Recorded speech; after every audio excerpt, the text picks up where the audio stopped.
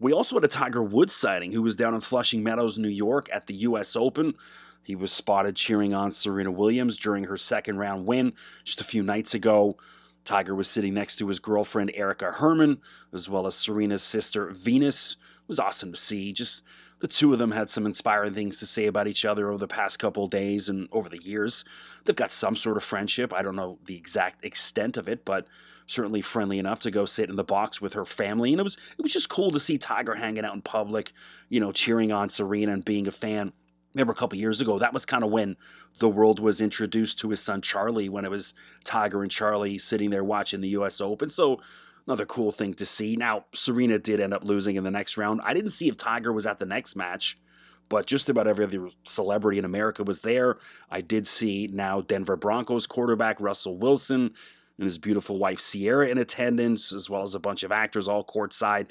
That had to be one of the hottest tickets in New York City in some time. I mean, think about you know we've had all the the shutdown and closures, but you got to think you know the U.S. Open no restrictions in place down there as far as I mean the players do, but not those in attendance. But you got to think like every agent and manager in you know the music business, the film business, Broadway, you know all those agents from William Morris Agency and CAA and ICM, all there in attendance, wanting to be seen at the U.S. Open.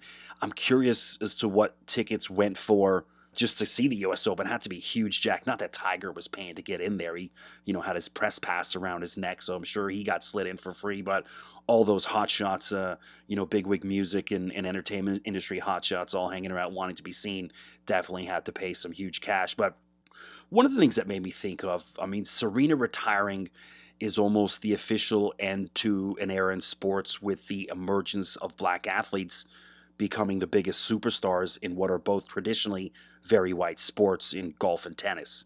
For decades, both golf and tennis were sports played and watched mostly by a white audience. Then, at some point during the late 1990s and early 2000s, both Tiger Woods and Serena, and of course her sister Venus Williams, emerged as superstars in their respective sports and perhaps the best ever at what they do. Both Tiger and Serena helped change the notion of both golf and tennis being exclusive to white people. They changed how the world views and watches those sports and that's amazingly special. They both broke down barriers and completely altered the perception of who and what golf and tennis are. It's incredible to think about. So, although I had put zero thought into Serena retiring, I became completely captivated watching her last few matches, as well as all the US Open over the past couple weeks. And so, part of it was because I began to understand the significance of what Serena retiring meant, especially with Tiger Woods there front and center in attendance.